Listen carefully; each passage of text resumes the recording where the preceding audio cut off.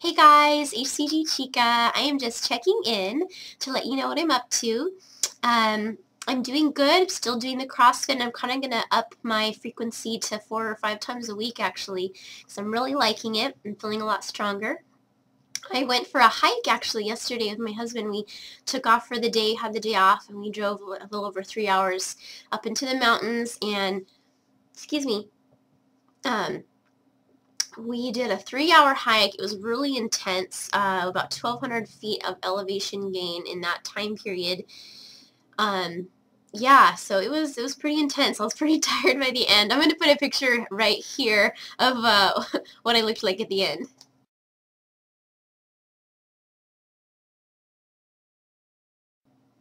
Yeah, so anyway, um, we had a great time though. I want to show you what it looks like. It's really beautiful. It's it's, it's a hike down to a reservoir, um, and then we hiked back up, and it's like this granite rock uh, that's pretty steep down to it. So let me show you a picture.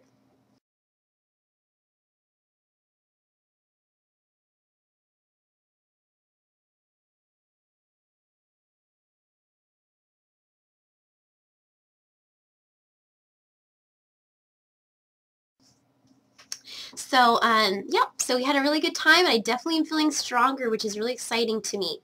Um, now, as far as my weight and nutrition and all of that stuff, my weight's still been, um, I guess I wouldn't say it's fluctuating so much now as it's just kind of gradually going up. And um, as I said, I kind of didn't start P3 properly, even though I stuck to the right foods, which I really was very good about that. I didn't give enough attention to the amounts of foods.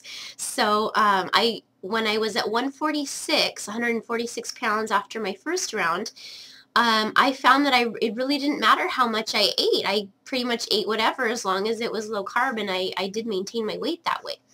However, at 122 pounds, that is not working. So um, anyway, that's something that I'm not worrying about right now. I'm going to basically kind of enter my P3 after my next round with a little more knowledge. You know, each time I do this, I learn more. um, it just, you know, it's certain things that you didn't have to do in the past. You, you know, you don't, I wasn't going to automatically assume that I would have to count calories. Um, and I still don't plan on doing that um, every day. But I am going to start implementing some counting of calories um, at least part of the week. I did a little research on um, just I'm just trying to figure out why do I eat so much? You know, I don't know why I eat so much. I finally actually went on my fitness pal the other day and calculated just for one day how many calories I was eating. And um, it actually ended up being like tw oh, 2,900 calories. Um, so quite a lot by most people's standards. And I would say that's about how I eat every day. so I'm not joking when I say I eat a lot. Um, and that's why I'm always amazed by all of you out there who, who live on 1,200 calories a day. I, I just, I, I really almost can't fathom it. Um, but anyway, I'm also premenstrual, so that could be part of it too. But I'm pretty sure I do eat basically like this every day. Um, so obviously at 122 pounds, even though I'm exercising a good amount, that's still too much. Um, anyway, I was doing some research on just some stuff with that and, you know, how building muscle without too much fat because I, I do want to, I don't want to lose weight during this time period and I don't want to just maintain necessarily either. Um, unless I was losing fat while gaining muscle at the same time, which from what I've read is pretty hard to do. So I do want to build muscle right now, um, and I, I just, I want to find a way to not get so much fat with it. Um, because I've been eating so much, the ratio of, of fat and muscle I'm gaining is just, it's like 50-50, half fat, half muscle. And I, would rather it be, you know, more like at least 75% muscle and 25% fat or something like that.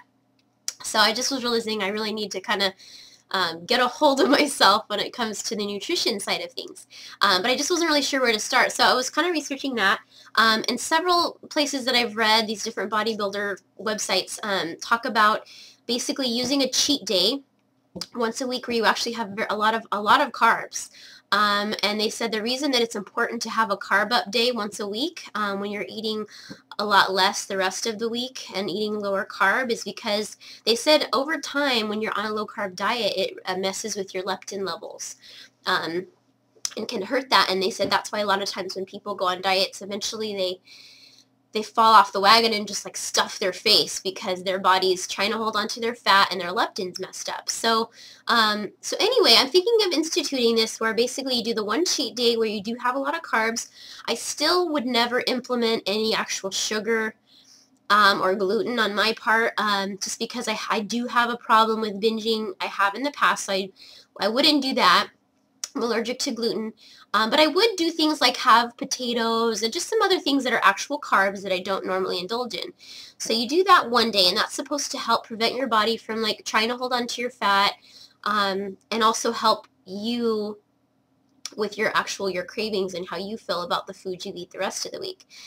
Then they follow up the cheat day with a fast day. Um, and you know, I haven't been too fond of fasting in the past, but I've d- the four steak days I did this P3, I really enjoyed. Granted, it wasn't like a full 24-hour fast because of having a steak in the evening, but I could even possibly do that, you know, um, do a steak day. But either way, I want to do a faster steak day because I really enjoyed those um, fast days that I did, or the steak days.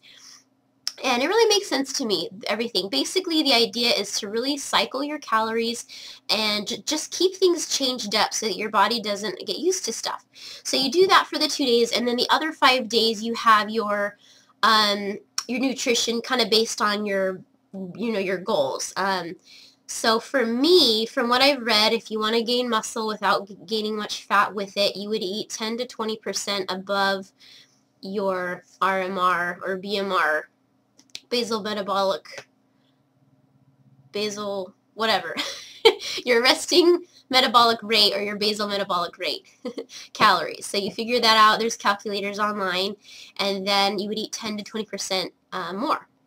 So I think that's what I'll probably try to do um, for the other days. So anyway, that's my plan. Um, I kind of wish I had started P3 with this knowledge, but um, as it was. It was just kind of like my fitness goals were just kind of developing at that point. And, you know, I just, I haven't had to worry so much about the amounts of food that I ate before. I've never, never had to worry so much about that. So, um, it's been a long time since I've been at this little weight. So I'm, that's fine. I'm just, I'm adjusting to it. That's all. Um, because of course, you know, before if I can eat 3,000 calories a day and maintain, why would I eat less if I can do that, right? So that's what I did. Um, but that's, yeah, as I said, that's not working now. So um, anyway, I do have specific fitness goals in mind, and so that's why I am, you know, continuing to figure out what's going to work for me and what's not. Um, so that's what's going on. And um, what else was going to say? Oh, I wanted to just mention real quick, too. I know here on YouTube, thankfully, there's a lot of informed people. You know, all of you guys who are doing HCG, you obviously believe in it, but I've just been doing some research online um, because, you know, I'm trying to write some different articles for hub pages and I'm writing my ebook. And um, I'm just so amazed by how much inaccurate information is out there. It's so irritating. it's frustrating. I keep kind of putting little comments. I, I wanted to see what other um, articles were on HCG, on hub pages.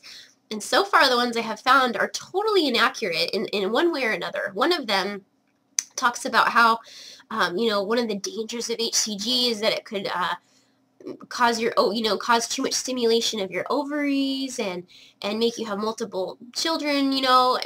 um, and I'm like, hello, that, the multiple births, that has to do with when you take a 10,000 IU shot in one dose. That's a fertility treatment. We take, you know, between 125 and 200 IU in one day way less. That has nothing to do with that. That statement is completely inaccurate uh, when it has to do with the HCG diet. That article was talking about the diet, but mentioning these possible side effects that have nothing to do with the dosing that we're taking. Um, and it's just sad because, you know, that article had tons and tons of comments of people, most of whom are, you know, uh, just saying like, oh yeah, it's so sad how many gimmicks there are out there. And um, anyway, it just, you know, it just pays to, when you do your research, to really see has the person writing this article actually done the diet they're talking about or whatever the case may be.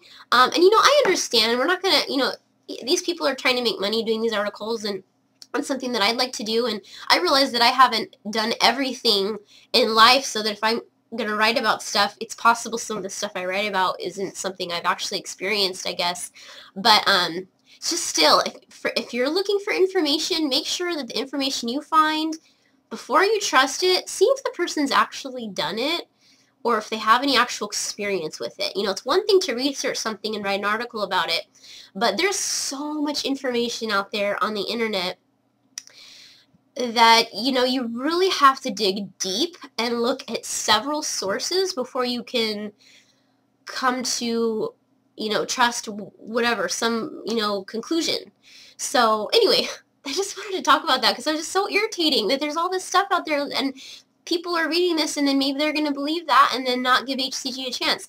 You know, saying that it's dangerous or, or whatever the case may be, it's not dangerous at all. It's so safe. it's just crazy. Anyway, um, other than that, I'm doing good. I am 131.6, which is, I think, 9 pounds, almost 9 pounds now over my LDW. Um, at, at, the moment, I think about 5 pounds of that is muscle and 4 pounds is fat. Um, so like I said, not my favorite ratio, but I am definitely trying to build muscle. And I think I am going to be going for a full three months doing the CrossFit right now. See however much muscle I gain in that time, and whatever weight I end up at is fine and then I will do my third round pretty much starting April 1st. My fourth round, sorry, April 1st. And um, yeah, and then I'm really excited about that because that's going to be the round I think where I will, you know, lose a good significant amount of fat, um, but I'll be in a lot better condition um, physically wise because of all the training I'm doing right now. So excited about that. Um, it's fun to have a plan in my head. So, all right, I'll talk to you guys soon.